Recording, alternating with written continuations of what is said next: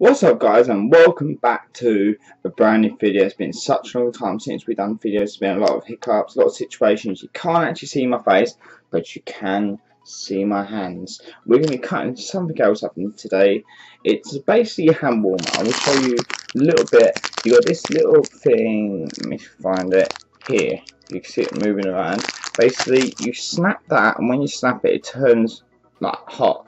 And then to take off the heat you're supposed to put it in like uh, it says here snap the metal we use pop it into a pot of boiling water until the crystals are turned into liquid. But we're not going to be kind of uh we're not going to be like doing it properly. We're just going to be kind of open. So we're not going to be handling this with our hands because we have some gloves because it does say not to touch in hands and stuff like that. So I'm going to be a bit cautious today. Try it and I hope you enjoy. So let's get this bad boy ready so we have this bad boy ready now. We're going to have some gloves on just for safety reasons and we're going to cut this open to see what kind of liquid and if it doesn't feel too bad we'll take them off. But let's start doing this. So let's cut. We're only using a standard knife today to see what we've got to deal with. Oh, you see the reaction of that. Look. It's gone, oh, it goes all crispy as soon as we put little mark and it's really hot. So we're going to have to be careful. That's why I put gloves on. We're going to try our best to get into this to see if it will actually burn anything or if it's got that much heat to it when it's actually open. So I'm just going to try and open this up. It's quite hot, obviously it's, it is a heat warmer, but this is only, it's very hot when it's actually out of the packet. So let's just try and should be able to rip this a little bit.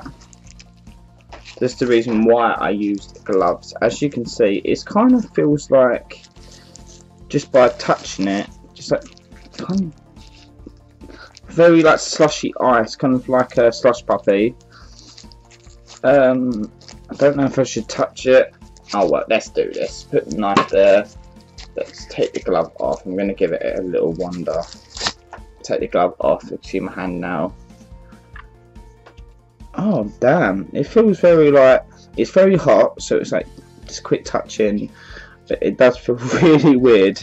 Like one of those things where you get quite a lot on it, and there's the little metal thing inside it as well. There we go. It's kind of just um, standard. It's a hard piece. It's hard to bend. Yeah, it's a solid piece of metal with kind of dust that, put it back. But that's the idea, what it looks like. So it's pretty interesting to see that because I've never actually seen inside it and what actually feels like all this stuff. But it is hot, so thank you guys for watching this. I hope you enjoyed what's inside a heat warmer or hand heat warmer. And I hope to see you guys in the next video. Peace out for now.